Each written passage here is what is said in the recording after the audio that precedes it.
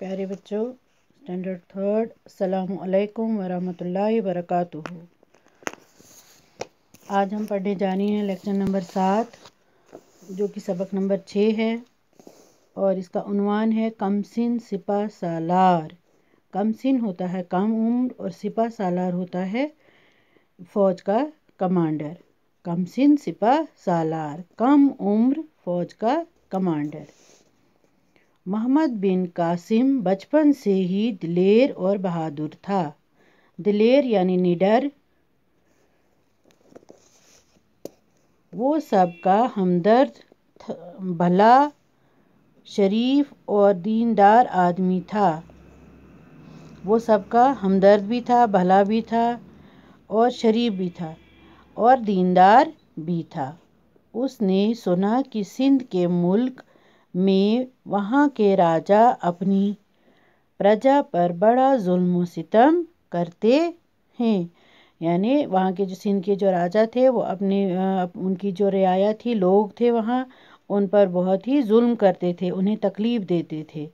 इस वजह से वहाँ के लोग बहुत ज़्यादा परेशान हैं। मोहम्मद बिन कासिम ने सुना तो बेकरार हो गया।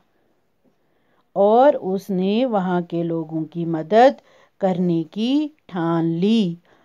मोहम्मद बिन कासिम ने जब सुना कि वहाँ के लोग बहुत ही परेशान हैं, उन पर जुल्म किया जा रहा है तो उसने इरादा किया कि मैं उन लोगों को आज़ाद करूँगा, उस राजा से जो उन पर जुल्म करता है। और आखिरकार उसने सिंध को फतह कर लिया, यानी सिंध पर जीत हासिल कर ली। वहाँ के बाशिंदों को जुल्म सितम से छुटकारा दिला दिया। बाशिंदे होते हैं सिंध के जो लोग रहने वाले थे, उन्हें एक बाशिंदा कहते जैसे हम किश्तवाड़ के बाशिंदा हैं।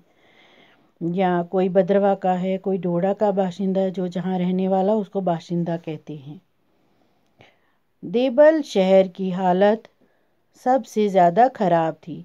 सिंध एक मुल्क है, लेकिन वहाँ का एक शहर था देबल वहाँ की हालत ज़्यादा ख़राब थी। उसने वहाँ के लोगों को अमान दी। वहाँ के लोगों को उसने पनाह दी, क्योंकि वहाँ के लोगों की हालत बहुत ज़्यादा ख़राब थी। उन्हें अपने अपने अकीदों के मुताबिक इबादत करने की आज़ादी बख्शी, यानी हर मज़हब, दीन व मज़हब जो, जिसका जो दीन था, जिसका जो मज़हब था, उस तरह से उसको इबादत करने की आज़ादी दे दी। काश्तकारों की मदद की। काश्तकार होता है जो ज़मीन लगाते हैं, किसान होता है, किसान जो ज़मीनों में काम करते हैं, उनको काश्तकार कहते हैं।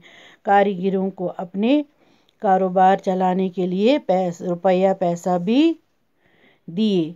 कारीगर होते हैं जो काम करते हैं, जिनको कुछ काम करना होता है, अपने तरीके से जैसे कोई कालीन बनाता है, कोई और कोई काम करता है।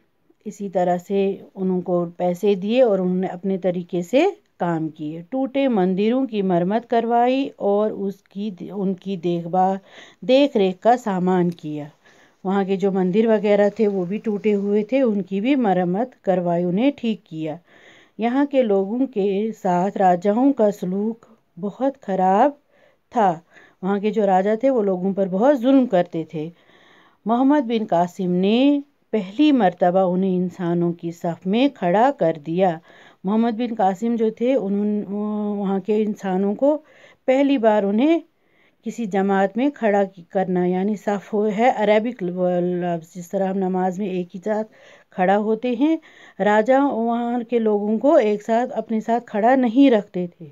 वो उन्हें इंसान ही नहीं समझते थे। आज का लेक्चर इतना ही।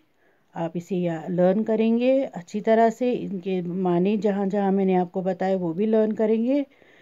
असलकम वालेकुम वर्का